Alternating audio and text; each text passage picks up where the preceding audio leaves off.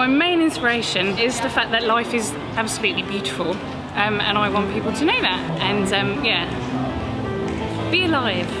There you are.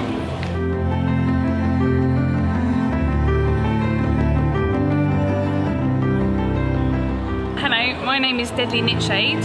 Um, I am a graffiti knitter um, and I have created this bench today because I've add colour to the world and this is my colour.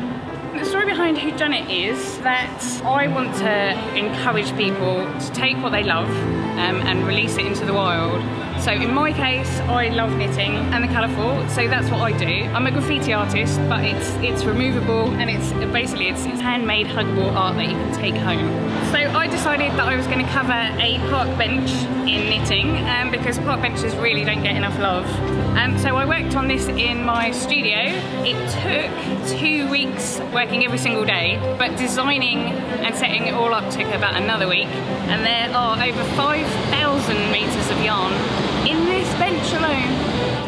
I am sad when I leave my work behind. When your art has a face, it does tend to break your heart a little bit, but people come and take little bits of my art home and their faces, they kind of light up, so I don't mind so much. the guy with the dog said that it was um, somewhere nice for him to sit down for a little while um, and have a cup of tea and that it, it cheered him up.